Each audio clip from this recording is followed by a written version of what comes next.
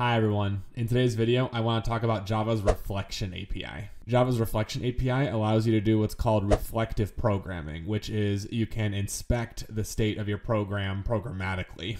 So what does that mean exactly? Think of it as a way in one Java class you can request the details of another Java class in your program.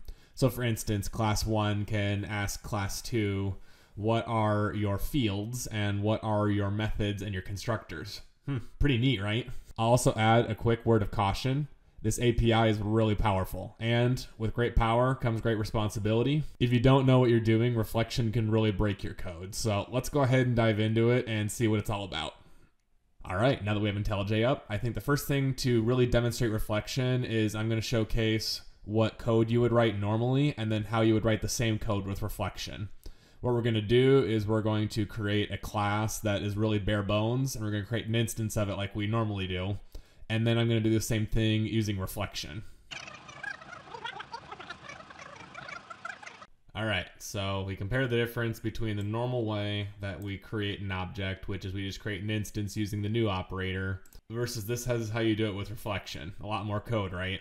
So what we're doing here is the class identifier right here. This returns an object of type class, which is a generic, which represents the class information for the particular class we're looking at.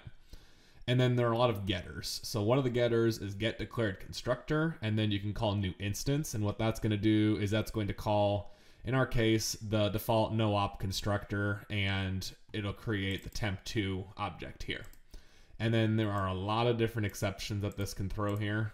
Um, I just spelled all these out just to show all the different ones that it can throw. For the rest of the video, I'm probably just going to update this and say that main can throw exception and leave it at that so that I don't have to call this out. But if you want a refresher on exception handling with checked versus unchecked exceptions and things like that, go ahead and check out one of my previous videos on that. All right, so now that we've taken some of the exception handling and just thrown this generic clause right here, the code's a little bit easier to read, and we can see here that this is the actual reflection that's happening.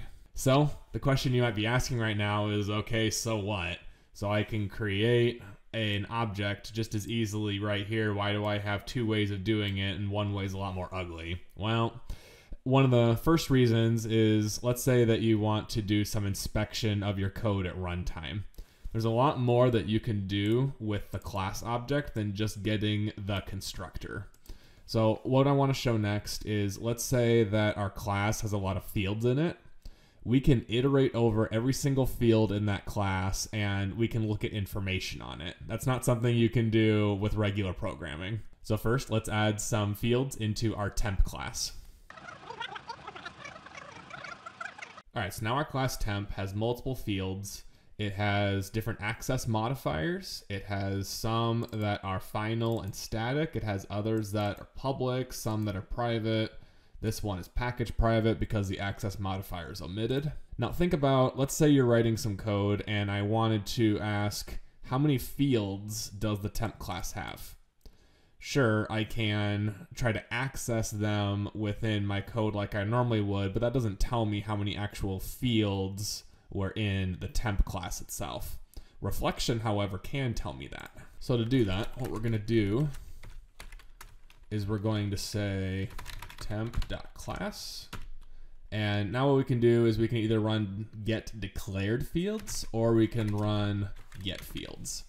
The difference is that get fields is going to return everything that would be visible by default and then get declared fields is going to return everything that has been declared at all. So we want to know everything, even private members. So let's do get declared fields. And if you look at the signature here, it returns an array of this field type.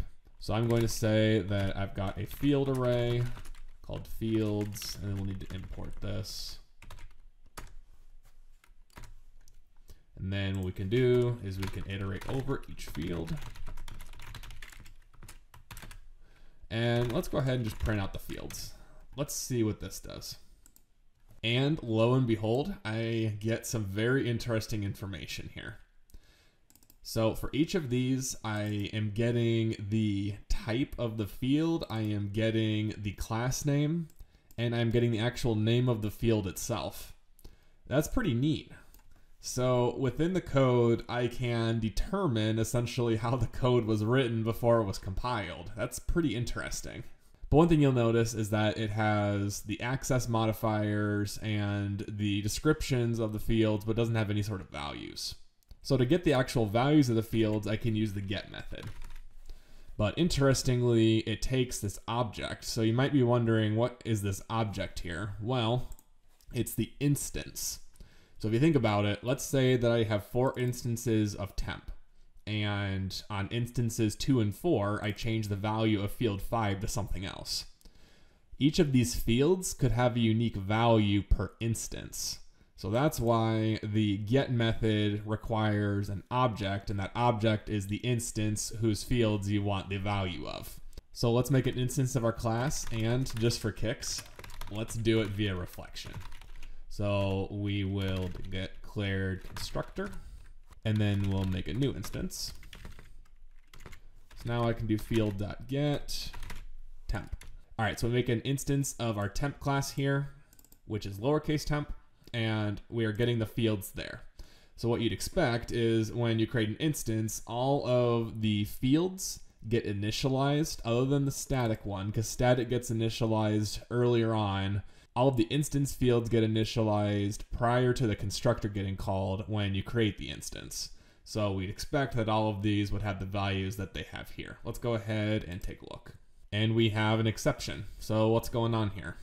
So you notice that I just had this generic throws exception clause, and earlier when I was creating an instance, there were all sorts of different exceptions that could be thrown.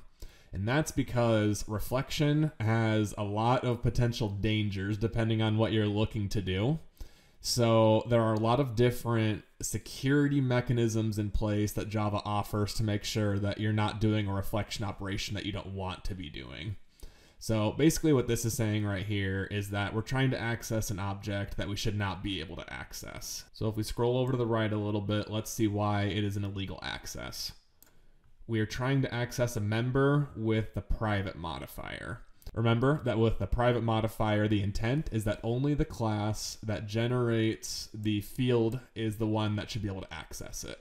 So in our case, this field 4 should only be accessible in the temp class, and then the same thing with this field 2 here. But we're about to break that with reflection. So what we can do is we can do field dot true. And now if I rerun the code, lo and behold, I get all of the information. So think about that for a second. I am able to access not only the package private, I can even access private information here. So that's very interesting, right? Remember how earlier I said with great power comes great responsibility?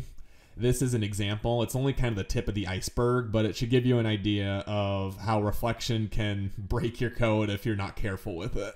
Speaking of which, I want to break this program a little bit. Private short field 2. Let's go ahead and modify that. So I'm going to create a public method. Uh, we'll call it print info. And what it'll do is it'll say current value of field 2 is, and then we'll say field 2. And what we're going to see is outside of our class, we're going to be able to change the value of a private field which, if you recall, the private access modifier means that you can only access it within the class that it was declared. So that is normally a really big no-no, and I'm going to show that with reflection we can entirely break that.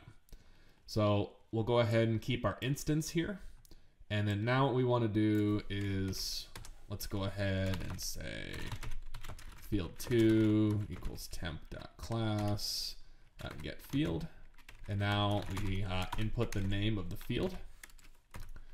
We can say field two dot set accessible. Because that's going to make the field accessible even outside of the class that it was declared in.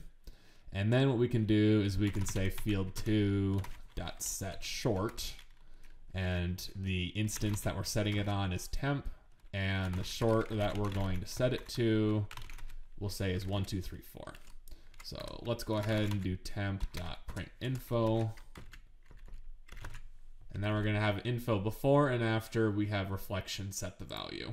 Whoops, get field is only for public. So I need to do get declared field. Let's go ahead and rerun that. And as you can see, we just broke our program wide open.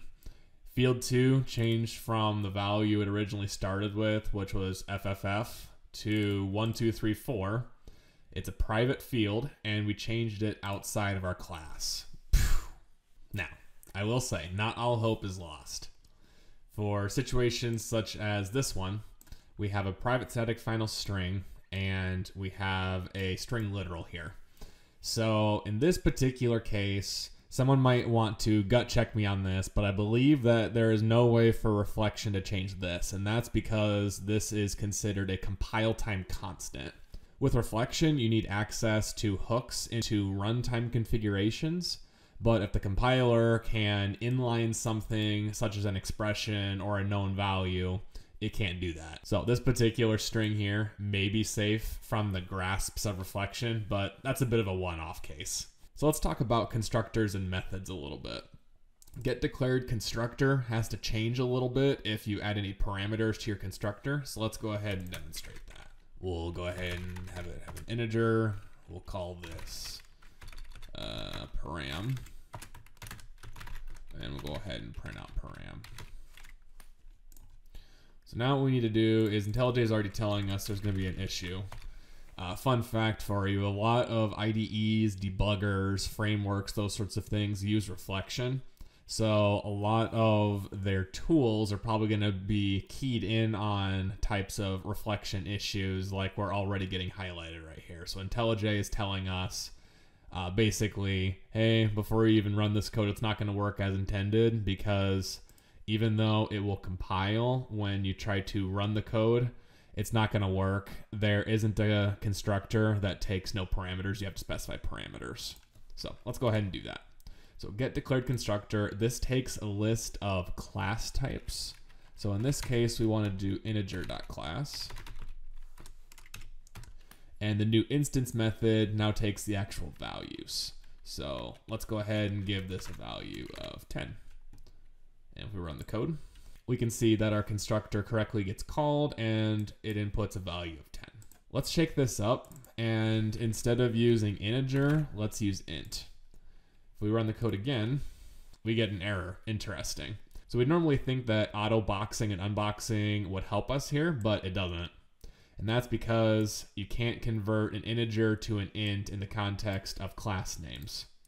So there are a few ways you can solve this you could do integer.type or something you probably haven't seen very often is you can do int.class. Even though int is a primitive, you can still use the .class modifier here and the code still works. Definitely not something that you're used to seeing. This might trip up programmers that aren't used to seeing a primitive having a class identifier associated with it. So now that we have our instance and we have messed with some of the fields within our instance, let's go ahead and make a method. And while we're at it, let's just even make it private. Super secret. We'll have it return void and super secret is just going to print out super secret. So how do we call our super secret method from outside of our class even though it's private? You guessed it, reflection. So what we can do is we can do temp.class get declared method. And just like before, we can pass in the name of the method in this case. It would be called super secret. And then we'll have that returned like this. We can say method dot true. And then now to call a method, you do method dot invoke. And then just like with fields, whenever you have an instance method, you need to pass in the instance. And then if we had additional arguments we wanted to pass to the method, we do that here, but in this case we don't.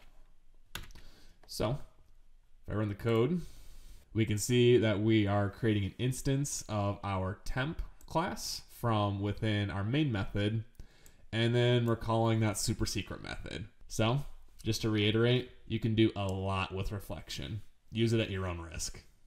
And that was a quick overview of the Reflection API within Java. I don't know about you, but when I first learned about reflection and everything you could do with it, I was kind of shocked, thinking that you could basically break encapsulation, but they gave us the API. It does have its use cases. For instance, if you're an IDE or if you are doing like a Java bean and you need to know how to access certain methods and you may have a private field that you need to have a getter and a setter for, you can do a lot of that with reflection. Spring's a good example of a framework that uses reflection intensively. Now, reflection does have its downsides. So if you can do something at compile time, it's going to be a lot faster and more efficient versus if you have to do it at runtime, it's going to be slower but you have a lot more flexibility. So, kind of depends on the use case, but it's a really cool API nonetheless. With that, I'm going to close out today's video. I hope you enjoyed it. If you did, please do hit that like button.